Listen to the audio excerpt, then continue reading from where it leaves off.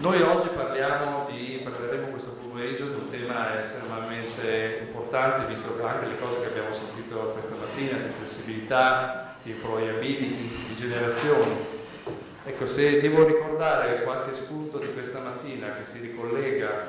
alle cose che, eh, oggi, di cui oggi parleremo, mi viene subito in mente per esempio il professor Costa che parla della tematica demografica e parla del tema dell'accelerazione, della velocità delle generazioni, dicendo che le generazioni un tempo duravano X anni, adesso usano, uh, durano molto ma molto meno e quindi tutta la tematica del, uh, della, dell'approccio ai giovani e del fatto che loro devono costantemente aggiornarsi cambia continuamente perché ci ritroviamo con una generazione ogni pochi anni invece che una generazione ogni molti, ogni molti anni. C'è tutto il tema della digitalizzazione che è stato eh,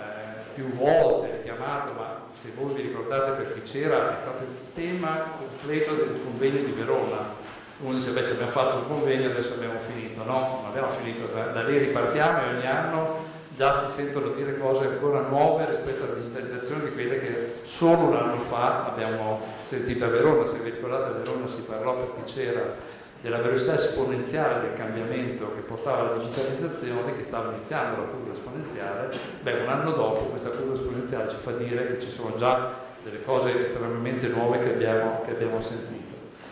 E ne hanno parlati tanti, quindi non lo cito. Abbiamo parlato molto legato a questo delle competenze e del diritto all'apprendimento, ci parlava Sacconi, ma anche molti altri, no? tutto il ritardo italiano rispetto alla formazione, all'apprendimento e alle conoscenze digitali, ma non solo, quei grafici ogni volta che li vedo, non so voi, ma a me come cittadino italiano mi viene un po' di mal di pancia, un po' di tristezza, un po' di dolore, no? tutto il tema quindi della formazione, dell'apprendimento, della digitalizzazione, tutte le tematiche quindi di nuovo legate all'employability e alla flessibilità di cui parliamo questo, questo pomeriggio. E sono stati citati, ultimamente ne ha parlato anche Spaltro, tutto il tema del benessere e della, del wellness e del smart working e tutte le attività che portano le aziende anche a vivere in maniera più, eh, il lavoro più flessibile, non inteso come lavoro più flessibile come precariato, che un po' stato mal interpretato negli anni, ma il lavoro più flessibile inteso come eh, veniva citato questa mattina è un tema anche a me molto caro, il fatto che ormai sempre più si va annullando o comunque fortemente affievolendo la differenza tra lavoro dipendente e lavoro autonomo e questo porta sì che noi lavoratori dipendenti cosiddetti diventano sempre più spesso, dovranno sempre più essere imprenditori di se stesso. E cos'è questo se non il concetto di employability che è il tema di questa nostra giornata. Io inizierei con la collega Simona Franzetti che è SS Director di G Group, giusto?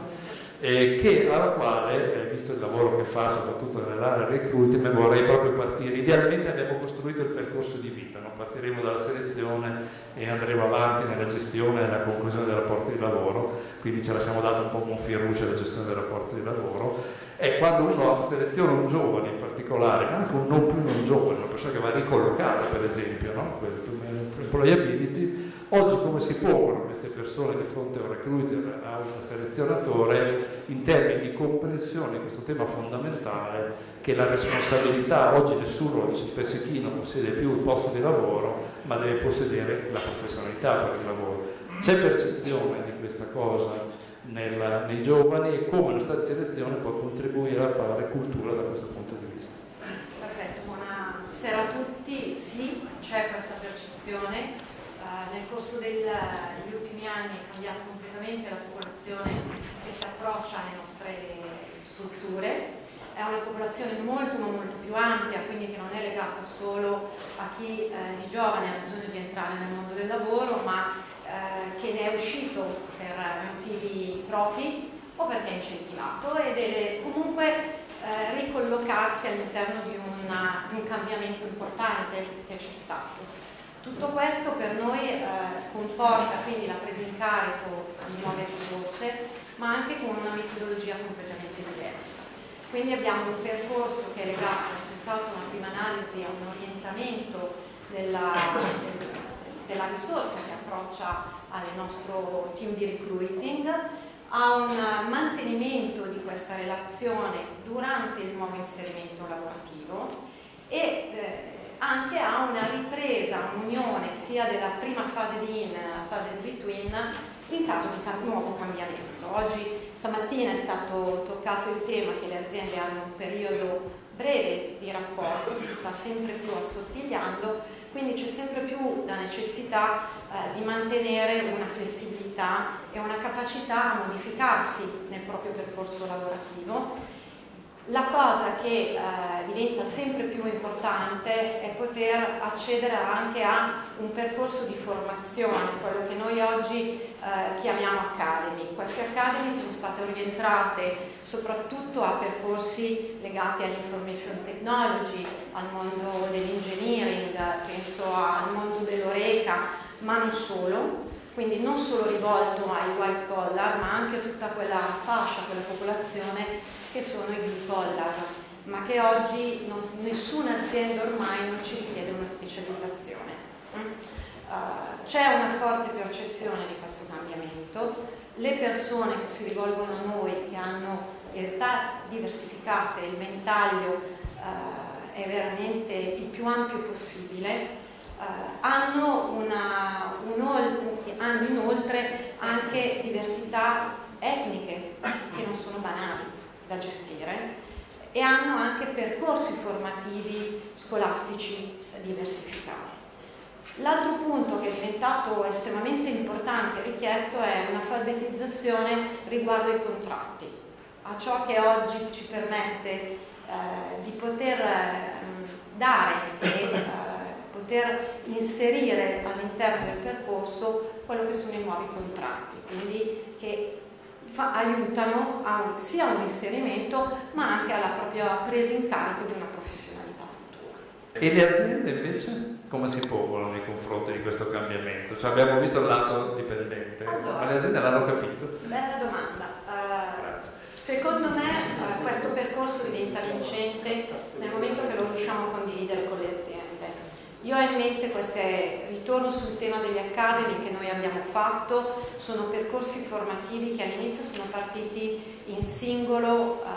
su singola nostra iniziativa, ma stanno diventando sempre più vincenti se condivisi in percorsi con aziende che partecipano all'interno con un proprio tutoraggio, con uh,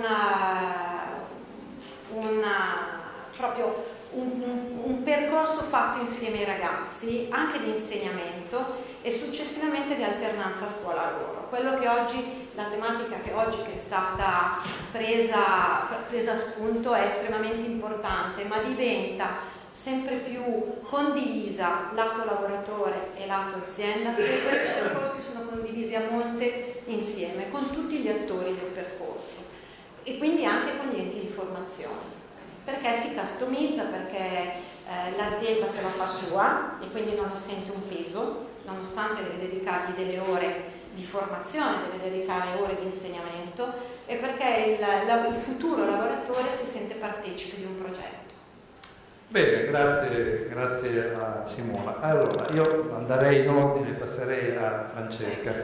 Francesca Crispardo è, è Child Director del gruppo Pianoforte, corretto? Sì, Pianoforte. E da poco tempo, perché è arrivata da, da pochi mesi dopo esperienze, 5 mesi dopo esperienze completamente diverse. La, eh, Simona ha parlato molto dell'importanza della formazione già sin dal processo di selezione.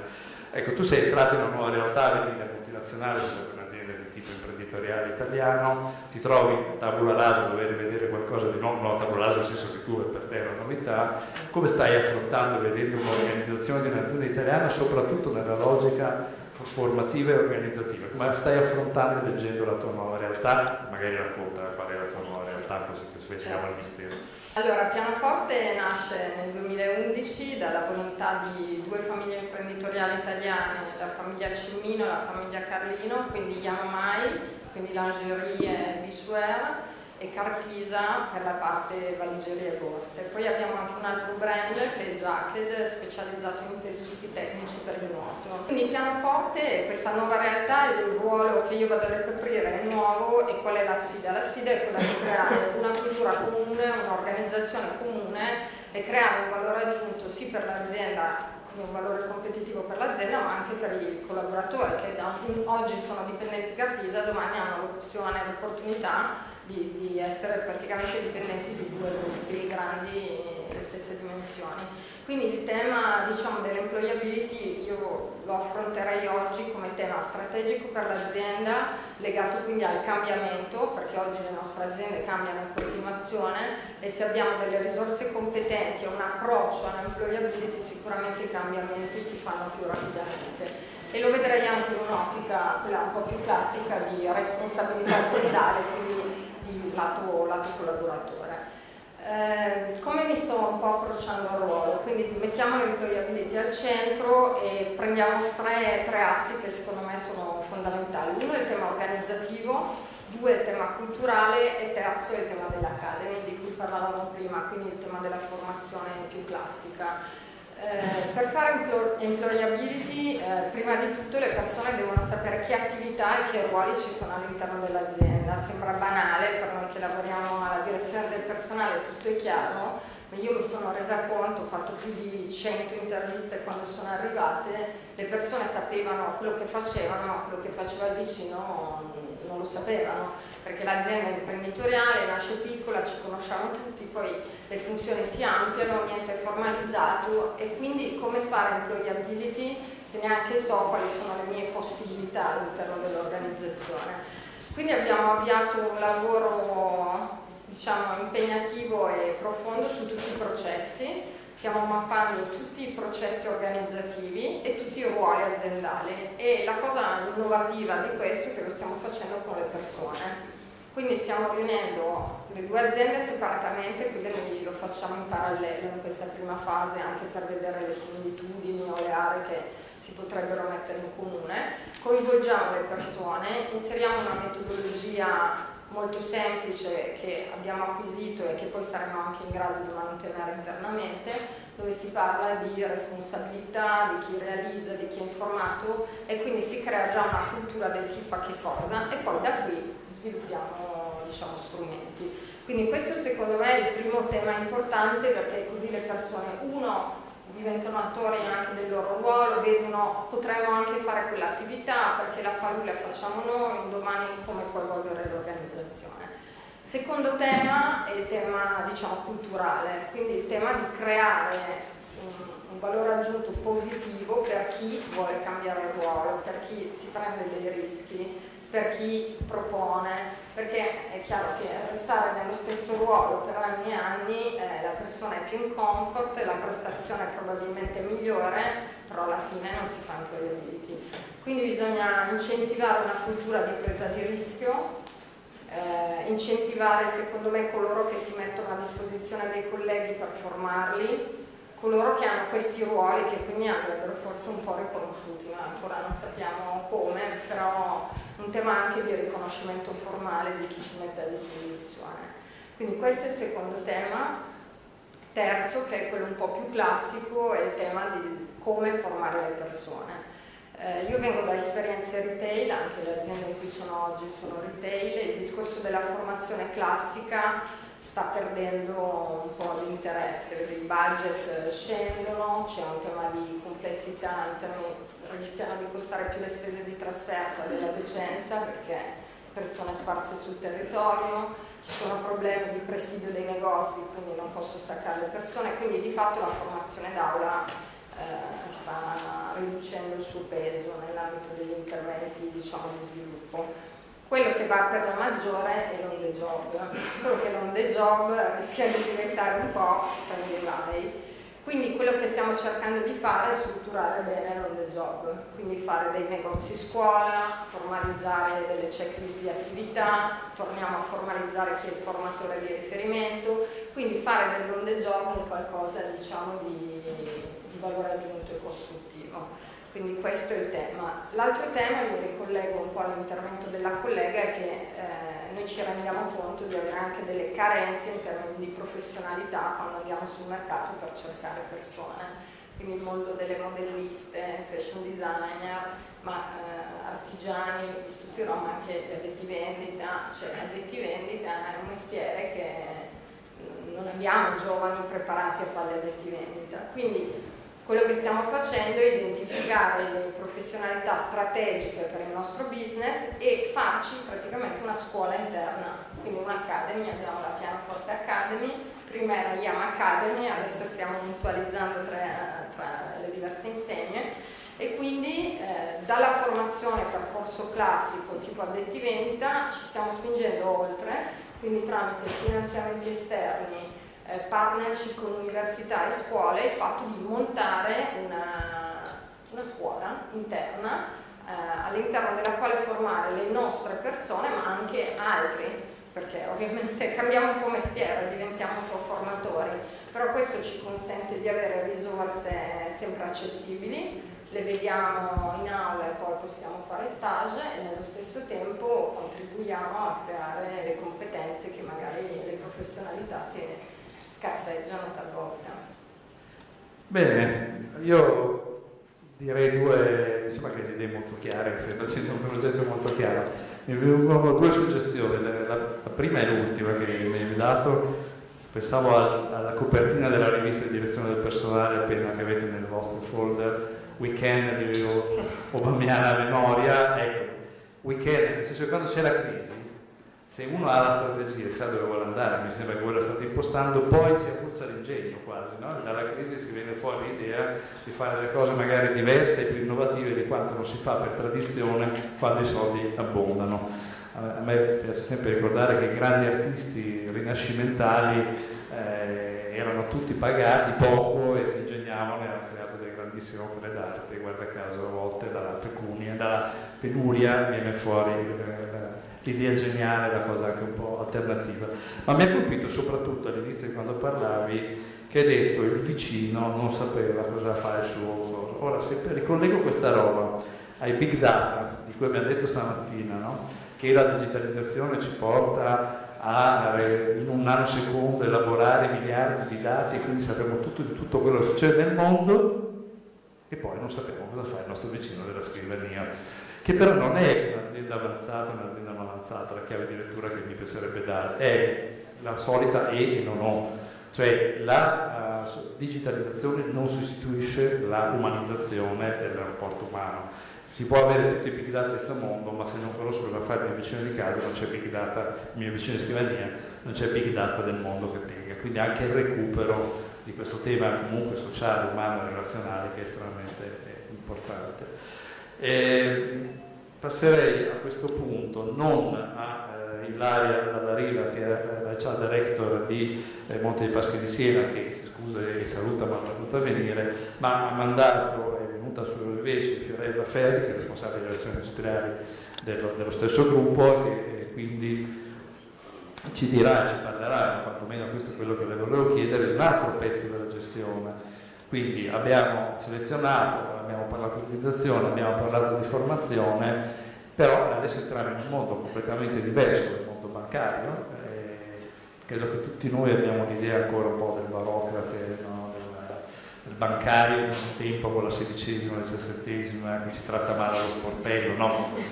Gli stereotipi ci sono ovunque. Eh, io penso che naturalmente siano stereotipi che siano stati superati, però la domanda è un mondo comunque difficile da trasformare, la cultura bancaria che non sia facile. Come state operando in termini per esempio di attività di benessere, di organizzazione, di miglioramento? Oggi si è parlato molto di wellness, ecco. quali sono le vostre iniziative per cambiare la cultura di un mondo in forte evoluzione?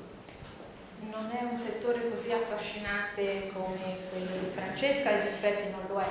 però il cambiamento è insito e sotto gli occhi di tutti, quello del settore del credito. Basta pensare a quello che ogni giorno sentiamo in televisione, no? le aggregazioni bancarie sicuramente produrranno e producono un cambiamento. Le aggregazioni bancarie da un lato, dall'altro lato eh, questo contesto economico ha portato a una riduzione della rete di filiali di tutte le banche, di tutto il settore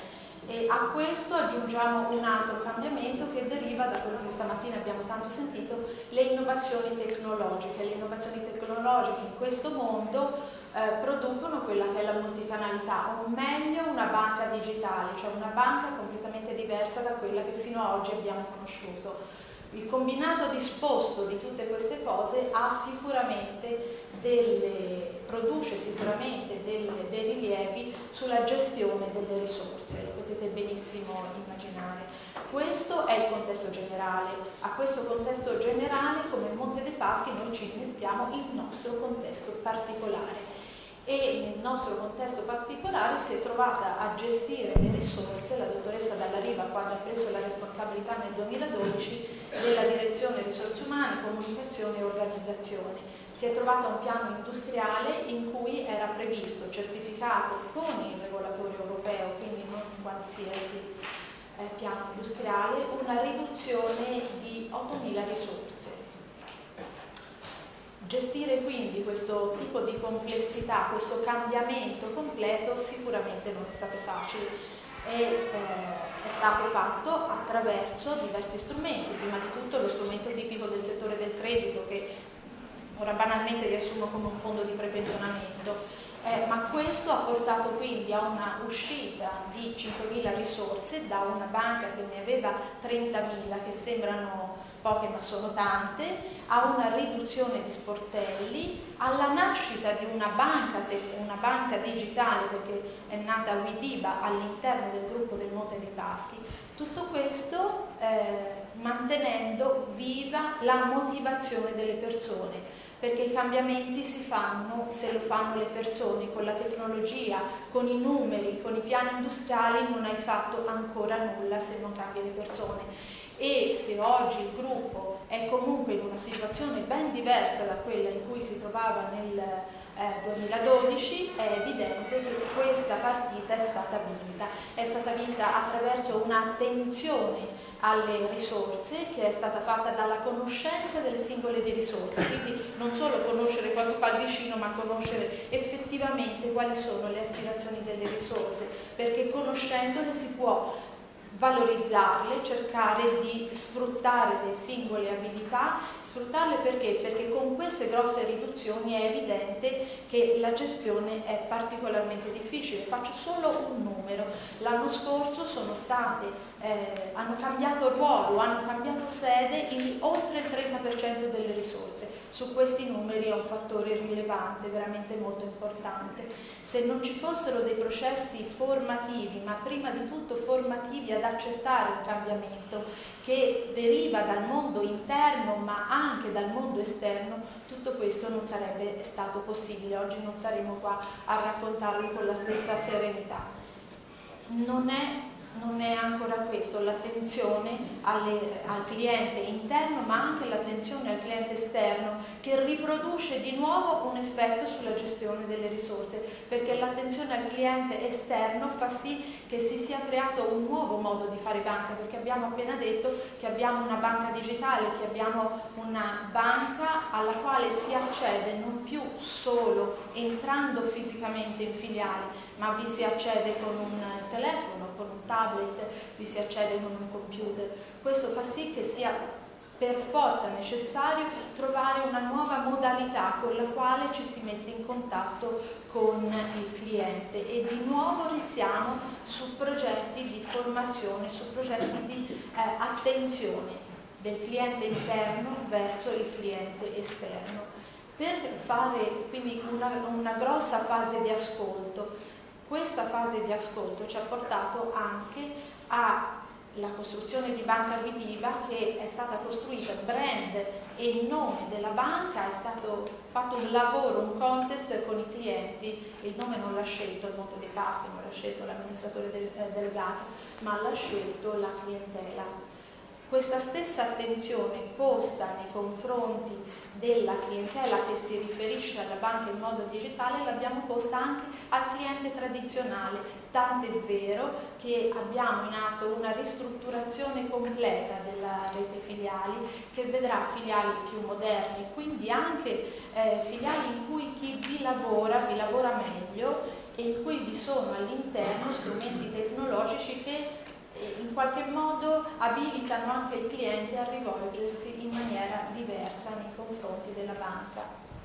Abbiamo detto che questo lavoro che abbiamo impostato ormai da diversi anni eh, non è stato un lavoro semplice, le risorse ci hanno creduto. Qual è il fil rouge che ha comunque unito risorse e azienda? Le risorse con il proprio management. Abbiamo un fil rouge che eh, è stato sempre vivo questi anni, nonostante eh, le riduzioni sul costo del personale, nonostante i sacrifici che ognuno di noi in azienda ha fatto per l'azienda e quindi per noi stessi comunque, questo fil rouge è stato il welfare aziendale, che è un patrimonio che è rivolto non solo alle 26.000 oggi risorse della banca, ma è rivolto a un mondo che è fatto di circa 80.000 persone, perché è fatto dai dipendenti, dai familiari, dai pensionati, un welfare che assiste in tutta la vita lavorativa del dipendente, che va dalla previdenza all'assistenza sanitaria, ma che va anche al sostegno alla famiglia. E è di questi giorni tangibile il sostegno alla famiglia perché abbiamo assunto in questi giorni i familiari dei dipendenti deceduti in servizio, quindi è, è, è qualcosa di estremamente tangibile ma è un welfare che si riferisce per esempio all'aver costituito con l'ultima contrattazione di secondo livello che abbiamo sottoscritto alla vigilia di Natale una, una banca del tempo, quindi uno strumento che serve ai dipendenti che si trovano in condizioni disagiate di usufruire di giornate di permesso, oltre a quelle che sono consentite per legge e con questo stesso contratto abbiamo sviluppato una solidarietà tra dipendenti. Come l'abbiamo sviluppata? Sempre, come diciamo sempre, dalla testa, no? E quindi dal management e quindi dall'amministratore delegato e il presidente che hanno devoluto un anno, un anno intero di emolumenti a questo fondo a beneficio dell'intera collettività.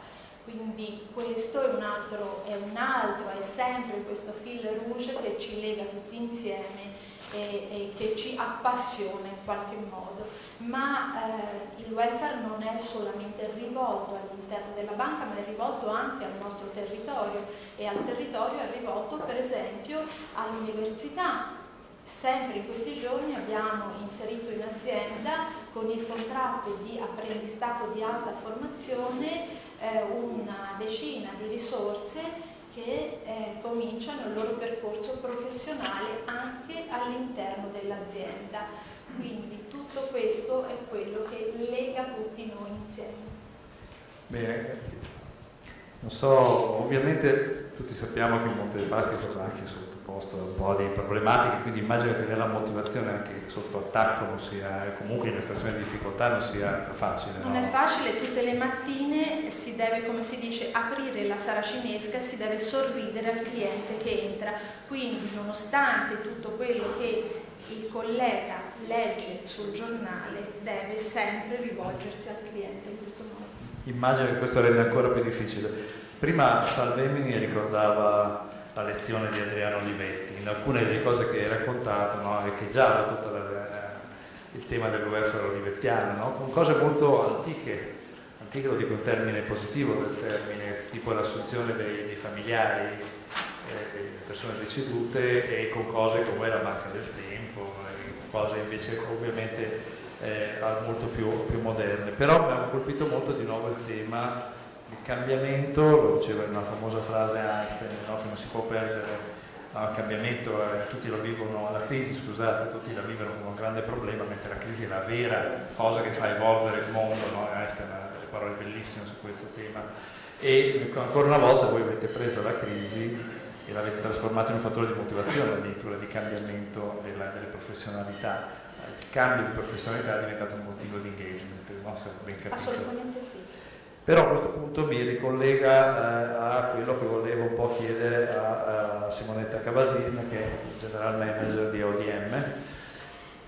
perché eh, proprio il tema un po' dell'obsolescenza dei ruoli e delle mansioni in questo momento. Chiunque io un'altra settimana fa facevo il direttore Ciara, sono un libero cittadino, dopo 35 anni di, di carcere sono un libero cittadino, però eh, chi fa questo mestiere in azienda, lo fa da tanti anni, sa perfettamente che eh, in questo momento in azienda con grave ritardo secondo me, ma si sta iniziando a capire che ci sono delle professionalità, a me viene in mente soprattutto l'area information technology, dove abbiamo parlato stamattina, ma anche nel marketing, ma anche nelle risorse umane, dove il cambio completo delle competenze necessarie, se ne è parlato a lungo, eh, rende alcuni ruoli completamente non più in linea.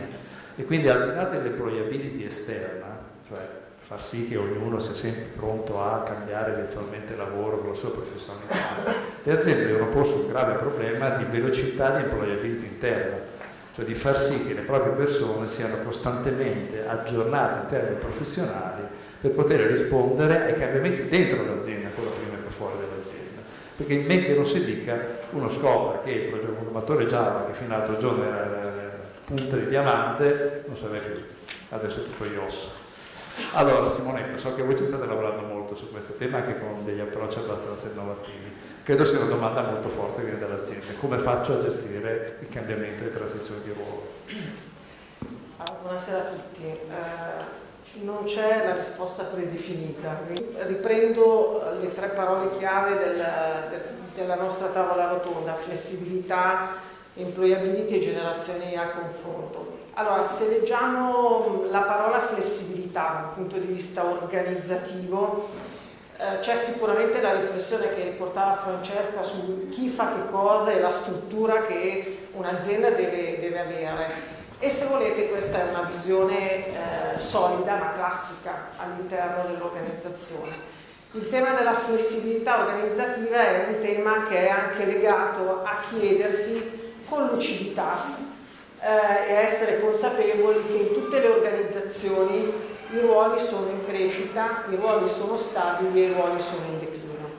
Questo diventa un elemento, un filo rosso delle, delle, delle dinamiche eh, organizzative. Non parliamo in questo momento delle persone, stiamo facendo appunto una riflessione sul, sul ruolo. Quindi il cambiamento organizzativo che prima era tipicamente nelle nostre aziende eh, legato a momenti di vita dell'azienda, sia positivi e magari molto negativi, è una costante. Eh, ormai forse non, non, è neanche più opportuno di parlare di ristrutturazioni o crescite, si parla di dimensionamento.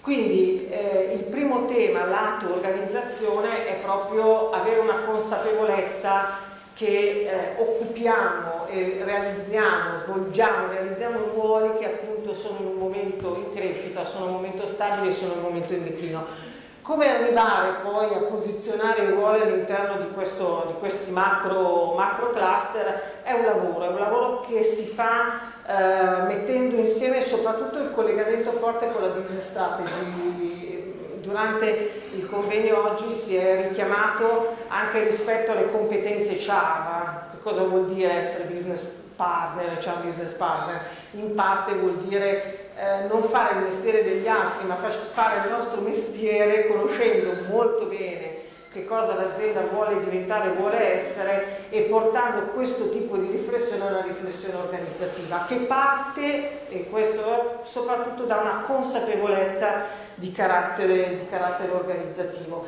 e dà alle CHAR un ruolo di facilitatore eh, da questo punto di vista molto potente. Eh, e quindi la parola flessibilità io la, la colgo nella logica, nella logica organizzativa. Employability, generazione e confronto le richiamo portando dentro a questo quadro di, di riferimento eh, il tema delle persone. Perché, perché poi ci sono le persone che occupano i ruoli in crescita, ci sono le persone che occupano i ruoli stabili e le persone che occupano i ruoli in declino. E qui c'è un tema di generazione a confronto e quindi anche una consapevolezza di chi sta facendo e sta appunto realizzando quel ruolo all'interno dell'azienda. Questa mattina si è parlato il professor Costa, la prima cosa che ha detto ha detto demografia no? e quindi conoscere l'azienda, le persone per la loro storia aziendale, per, loro, per, il loro portare dei bisogni generazionali. Questo diventa un elemento molto, molto importante proprio perché i bisogni e le necessità diventano, diventano diverse. Il tema dell'employability nella logica appunto di, di, di questo approccio, di questa riflessione è quello di avere una fotografia sulle persone presenti all'interno dell'organizzazione che mh, permette alla direzione HR di avere molte informazioni. Le persone che lavorano nelle aziende hanno una loro storia professionale, hanno competenze, hanno appunto una età, hanno delle, delle seniority, hanno delle storie di performance, hanno delle storie legate alle competenze, hanno delle storie appunto di potenziale. Conoscere le persone permette di capire se le persone sono in grado di sostenere ruoli in crescita,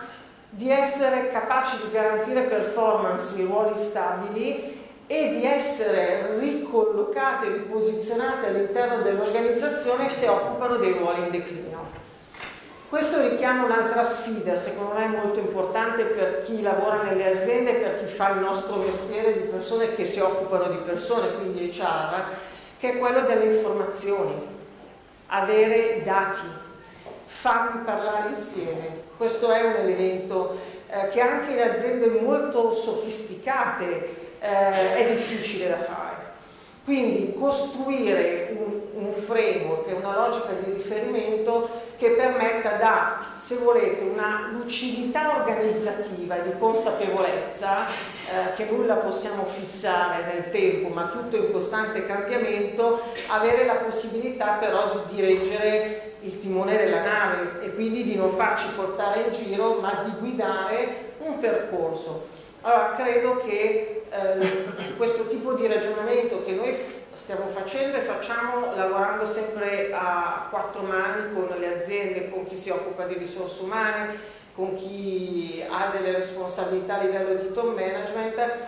possa aiutare a costruire degli ancoraggi, quindi magari non trovare delle risposte perfette, però ad avere dei punti di riferimento eh, su cui appunto riuscire a pilotare in modo sufficientemente sicuro. Eh, proprio è un percorso quello che va affrontato, non è una cosa, è quella vera cosa che come risorse umane dobbiamo un po' sempre più sviluppare, che non esiste un problema, un altro problema, un altro problema. Esistono due cose importanti, la visione sistemica legata al business, diceva Simonetta, che è la cosa più importante che io ho recepito, e il percorso. Gli interventi a spot, uno qui, uno lì, uno là, che non siano sistemici, legati al business e un percorso, sono un po' troppo usuali nelle direzioni di risorse umane e non ce li possiamo più permettere, che sono i famosi soldi dispersi di cui ci parla il nostro CEO, per dimostrare che non sono soldi persi ma soldi investiti come sono, devono essere soldi investiti, che lo dobbiamo dimostrare fortemente, anche usando il linguaggio del business, il collegamento col business, la, la visione sistemica integrata anche col business delle, degli interventi e eh, soprattutto il percorso. Francesco Brandolito, founding managing parte, director del, omonimo studio eh, legale che ovviamente affronterà, a cui vorrei chiedere, eh, partendo anche dalle riflessioni che hanno fatto le colleghe, tema della flessibilità in particolare è un tema che eh, ovviamente è eh, molto importante per le aziende e molto seguito dagli studi eh, legali. È un tema che si pone sia in corso di rapporto di lavoro, quindi abbiamo parlato di employability, ma come gestiamo poi anche in termini pratici, giuridici, contrattuali questa flessibilità, ma è anche legato a un tema di cui molto si è parlato di nuovo la demografia di costa, al tema dell'aging. Quindi come facciamo la famosa staffetta generazionale, come, come gestiamo gli anziani lavoratori, cioè come il problema me, insomma, quando arrivano a una certa età, come facciamo a fare il mentoring o il reverse mentoring, cioè come facciamo a gestirsi questa flessibilità nel rapporto di lavoro. Sì. Diceva, follia è fare sempre la stessa cosa aspettandosi risultati diversi è quello che non ha capito il legislatore italiano, perché voi HR manager fate tanti sforzi per migliorare l'organizzazione aziendale, il clima, la vita di quella che oggi è chiamata risorsa umana e capitale umano, anzi. Il legislatore dovrebbe mettere più gli occhiali e capire quello che sta accadendo, quello che avviene. Eh, la sintesi eh, diciamo, di quella che è la problematica della domanda che arrivo subito, diciamo, rispondere alla domanda che Andrea mi ha chiesto e ha posto, può essere sintetizzata in negativo da quello che è la, ehm, una lettura distorta che ha portato ad affermare un a prioristico dualismo del mercato del lavoro, cioè da un lato i giovani, dall'altro lato i vecchi contrapposti ai giovani. Guardate, anche lo stesso Jobs Act a mio modo di vedere, quella norma incostituzionale quando è andato a normare eh, il contratto delle crescenti, quindi cambiando il regime sanzionatorio, ha previsto un regime sanzionatorio per i giovani assunti più consono al mercato, io la leggo in questa maniera, e lasciando ai vecchi la vecchia disciplina di quell'articolo 18 sia pure normata dalla legge Fornero. Mentre invece, e lo hanno dimostrato anche interessanti interventi che mi hanno preceduto, la, questa, questi, questi aspetti dicotomici tali non devono essere, cioè anzi il vecchio ha bisogno del nuovo, del giovane, il giovane ha bisogno del vecchio. No? Nel primo caso, senza il giovane, il sistema welfare salta, e parlo del welfare, cioè proprio di sicurezza sociale, quindi pensionistico, contribuzione, senza il vecchio, il giovane ha problemi anche in un'ottica formativa. Cercherò brevemente di analizzare quali sono i due aspetti macro che determinano il fatto che in Italia no, la, la frase di Einstein non viene applicata, cioè noi pensiamo di cambiare senza cambiare le cose. È interessante, eh, eh, in un'ottica di sguardo a quella che l'Europa ci dice, il progetto europeo sintetizzato nella cosiddetta soft law, che va a santificare quattro principi fondamentali rispetto agli argomenti che stiamo affrontando oggi. Sviluppo, primo principio, delle transazioni lavorative virtuose tramite le politiche attive del lavoro. Dice testualmente la comunicazione della Commissione europea del 2007, la numero 359, la libertà di assumere e licenziare deve essere accompagnata da transizioni sicuri da un lavoro all'altro. Secondo principio, modernizzazione del mercato del lavoro attraverso lo sviluppo di servizi che consentono il cosiddetto lifelong learning, consentire cioè alle persone di migliorare le proprie competenze lungo l'intero arco della vita lavorativa. Io qui ho scritto vita lavorativa, in realtà la testuale parola è nell'arco di tutta l'intera vita, dalla nascita fino alla morte. Quindi io l'ho condensato, per capirci di più, sulla vita lavorativa. Terzo principio, sviluppo di sistemi informativi transnazionali che pongono in contatto efficacemente domanda e offerta, cosiddetto matching. Quarto ed ultimo, sostegno all'occupazione giovanile soprattutto tramite costante collegamento tra la scuola e il mondo del lavoro, ahimè, al fine di garantire l'alternanza prima e la giovane transizione in poi. Questo, secondo il legislatore italiano, è stato fatto del Jobs Act renziano si, si, ritiene di aver comunque condensato nelle norme questi principi. Forse in, parte è stato fatto, sicuramente, non posso essere sempre solo critico, se no divento antipatico. Però gli aspetti fondamentali che denotano una mancanza di cultura occhialuta, no? cioè non miope, ma di sguardo vero, reale al mercato del lavoro e al mercato che cambia, è data da due fondamentali preconcetti che noi ci portiamo dietro. Il primo è legato alla, alla pubblica istruzione, alla scuola. Io indegnamente insegno all'università, io per primo mi arrabbio quando noto che molti programmi formativi sono fatti senza guardare assolutamente quello che accade fuori dalla scuola, fuori dall'università, nel mercato del lavoro. Qualcosa sì, qualcuno mi potrà dire si è fatto, si sta facendo. Io per, per esempio sono un consulente legale della Bosch, a Bari, a Milano, la Bosch con il Bosch Tech ha ehm, prodotto un accordo con gli istituti tecnico professionali rispetto ai quali sta, la Bosch chiede delle professionalità con specifici programmi ad hoc per poter far fronte a quelle che sono le proprie esigenze in un'ottica produttiva. Eh, però questo diciamo, non, non, avviene nella maggior parte dei casi, soprattutto, soprattutto cioè, questo è legato comunque, lo si, lo si studia anche mm, nell'ambito della storia, della politica, la storia della politica italiana, perché in Italia si è voluto scegliere proprio una netta dicotomia tra scuola e mercato del lavoro, ha, una ragione politica, cioè non c'è quel dualismo invece tipo tedesco, germanico, quindi non è un caso che la Bosch è andata a fare questo questo accordo con la scuola qui a Bari. Diciamo, eh, mi viene da chiedere, probatoriamente l'ho fatto molto spesso anche a, a, al mio rettore, ma quanti sistemi formativi progettano in collaborazione con il mercato e le aziende? Quanti sistemi formativi si preoccupano di verificare che cosa accade ai ragazzi una volta poi usciti dalla scuola? Quante aziende si preoccupano di valutare realmente le competenze dei lavoratori e la capacità di creare valore? Questo dal lato scolastico. Dal lato normativo, ahimè,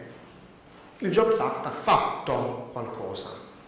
Sappiamo prima di tutto la flessibilità in uscita, l'abbiamo citata, ha creato un nuovo regime sanzionatorio per favorire in, una, in, un ambito di, eh, in un mercato in cui vedeva la creazione di una serie frastagliata di tipologie contrattuali differenti, mm, quello di dare un pochino più risalto al contratto di lavoro a tempo indeterminato, anche se io su questo sono un po' così critico, anche perché dico che la, la dignità di eh, lavoro va data anche ad altri lavoratori, metto io per primo, io sono un lavoratore autonomo, sono, mm, sono un lavoratore come gli altri, ma non ho tutela sulla malattia, non ho tutela sull'infortunio, non ho alcuna tutela. Forse nel 2016 è arrivato il momento per cambiare mentalità e approccio, si parla di statuto dei lavori,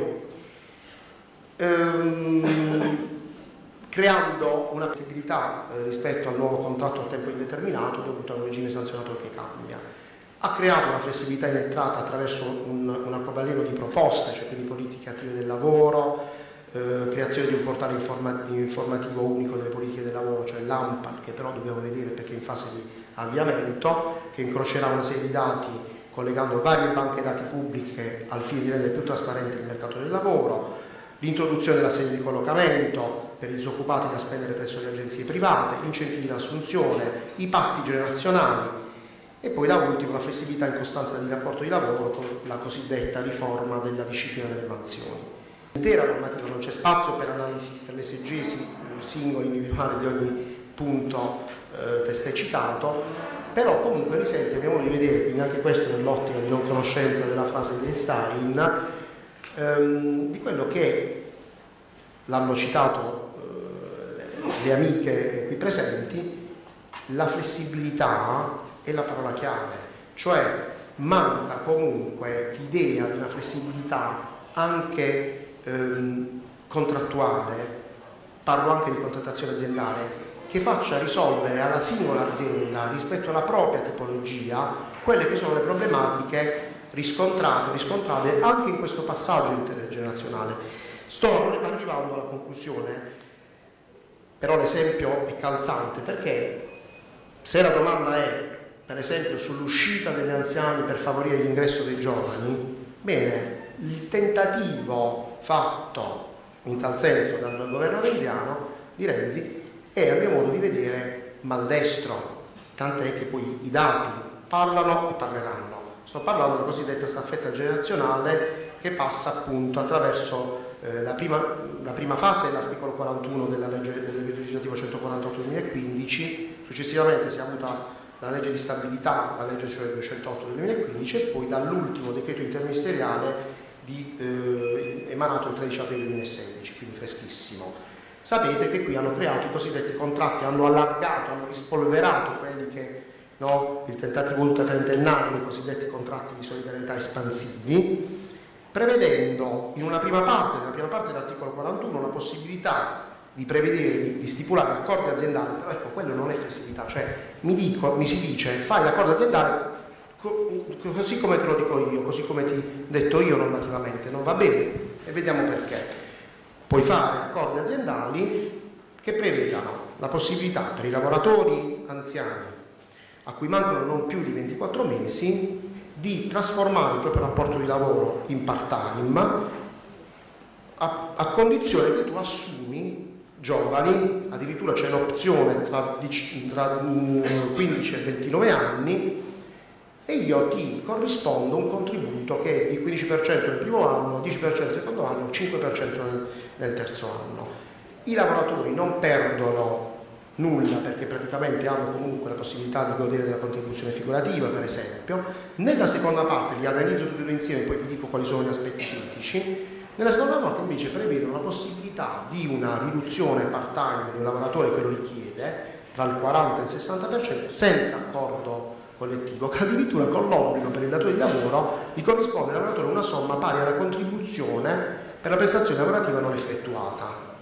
e con riconoscimento della corrispettiva contribuzione figurativa, beh questo quello solo l'abbiamo detto. Da un calcolo che ho fatto fare dal mio dipartimento payroll, praticamente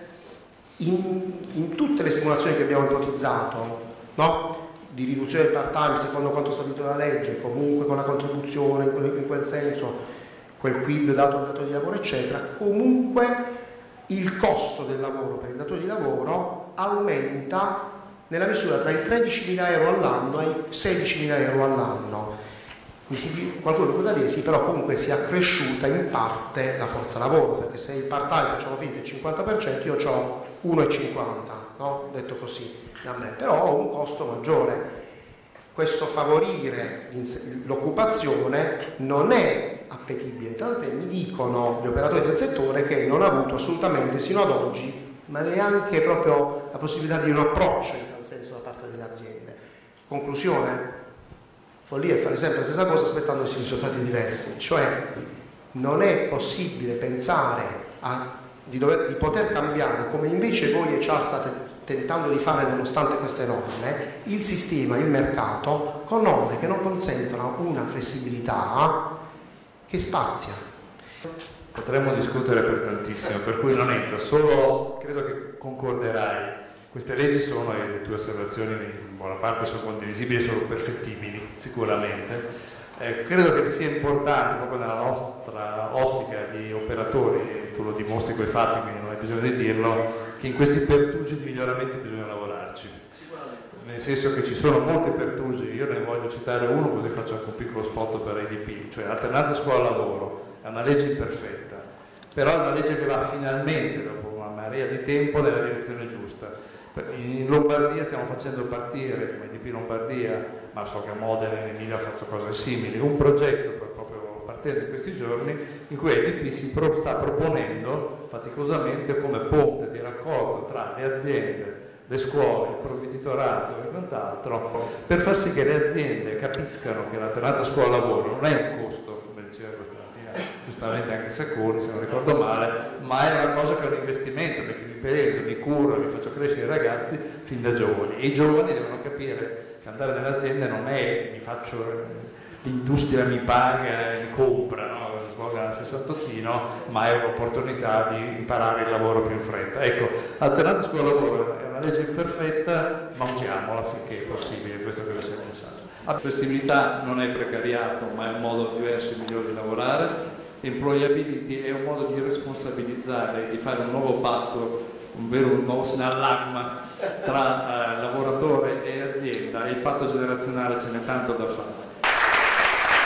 non non ne amo che bacia fuori naga come queste a casa per comandare un servitore. Non è non è non è non mandare che notte ore naga giù mandato io oggi per